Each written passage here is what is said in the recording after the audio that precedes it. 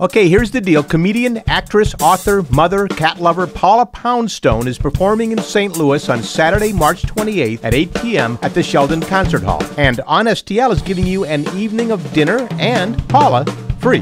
But first, you gotta win. Here's how. You give us your best Paula Poundstone, and we'll give you the best Paula Poundstone. Yeah, this one, with this dinner for you and a friend from the Fountain on Locust, just a few blocks down from the Sheldon. Send us a video, 30 seconds or less, of your best Paula. That's it. That's all you have to do. Then we'll show them all to Paula and see which one makes her laugh the most.